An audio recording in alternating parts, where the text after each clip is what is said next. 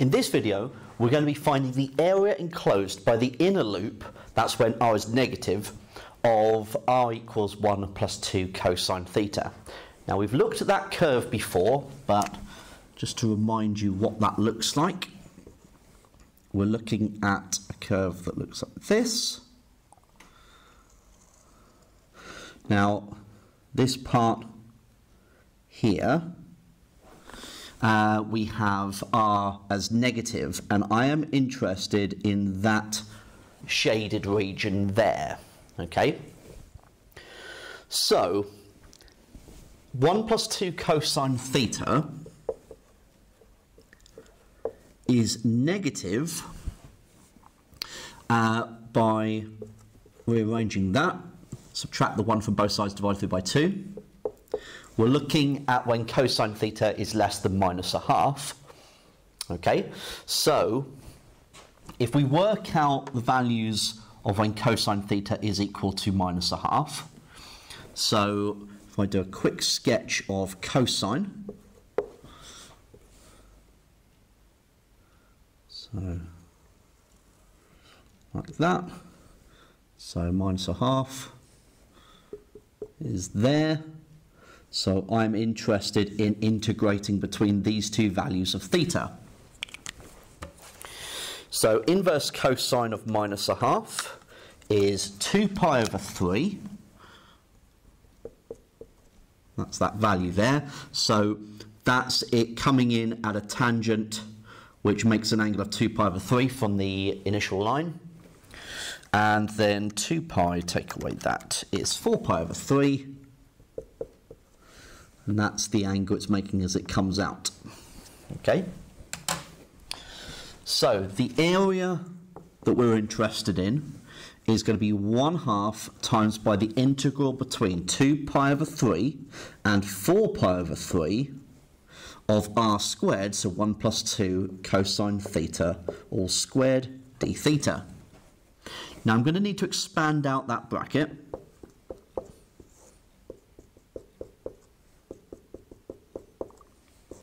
So 1 plus 4 cosine theta plus 4 cosine squared theta d theta.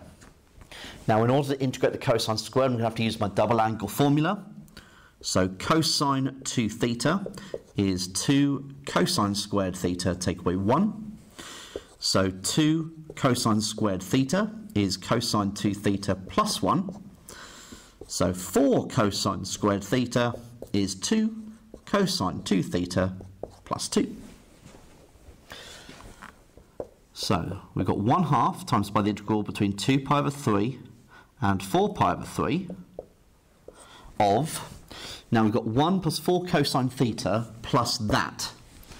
So we've got the 2 cosine 2 theta, we've got the 4 cosine theta, and I've got the 1 plus the 2, so plus 3 d theta.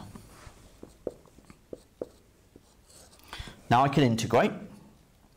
So 2 cosine 2 theta is going to integrate to uh, 1 lot of uh, sine 2 theta.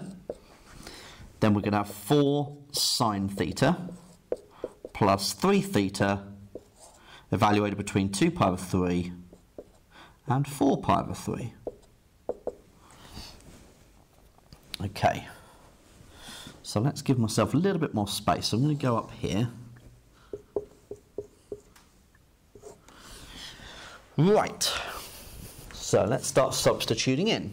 So we've got sine of 2 times 4 pi over 3, which is root 3 over 2. So we get root 3 over 2. Then 4 times sine of 4 pi over 3 is minus 2 root 3 and then we get three lots of that, so 4 pi. Take away, now I've got to substitute the 2 pi over 3, so sine of 2 times 2 pi over 3 is the minus uh, root 3 over 2. Then in here we've got 4 times sine of 2 pi over 3, which is 2 root 3. And then we've got three lots of that, so plus 2 pi.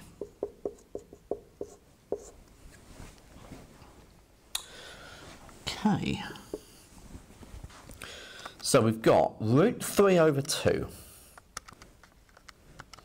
Take away 2 root 3, and I'm dividing that by 2. So we're going to have minus 3 root 3 over 4. So I'm multiplying through by the half at the same time here. I've got the 4 pi times a half, so plus 2 pi. So that's from the first bracket there. Then I've got take away 1 half times all of that. So minus a half times by minus root 3 over 2 plus 2 root 3 and that gets me take away 3 root 3 over 4 and I've also got minus 1 half times the 2 pi. So minus pi. So we've got minus 3 root 3 over 4 take away minus take away sorry 3 root 3 over 4 which is going to get us minus 6 root 3 over 4 which is minus 3 root 3 over 2. And we've got 2 pi take away pi, so that's got us gets us plus pi. So you can either write it as pi take away 3 root 3 over 2 or minus 3 root 3 over 2 plus pi. Either way around, that's fine.